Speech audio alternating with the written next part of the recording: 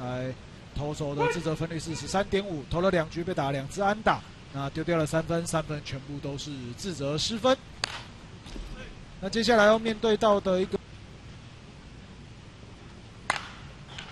丢掉了三分哦，在那一场比赛表现的似乎不太理想。打开电视机基本上都是邱教练的声音，是目前也是继承了哇，先回到场上哦。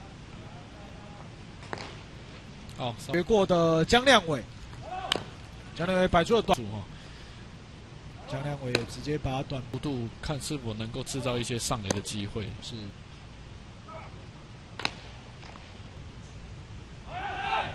这一球，哇！哦，不小心哦是打在棒子上面，我想也演不下去了。哦，这一球打击出去哦，游击手接到之后先踩二。那刚刚那一个插棒界外哦，就局接下来这边要面对到的是乌边角角的一个位置哈。对，在比较高的位置哈，可能看得比较清楚一点，是，所以特别喜欢这比较高的球。捕手跟主审哦，这个两个人的位置哦，有时候也会是有一支二垒安打的出现。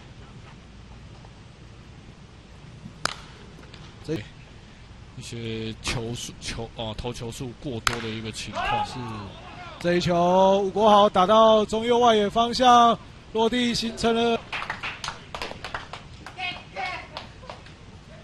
哦，这个球投的不差哈，只能说吴国豪真的打的相当的精彩哈。是，刚好越过了全垒打墙哦，将战局给扳平。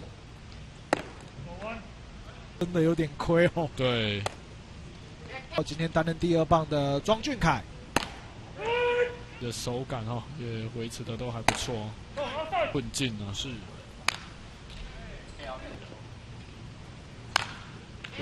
这还有进步的空间。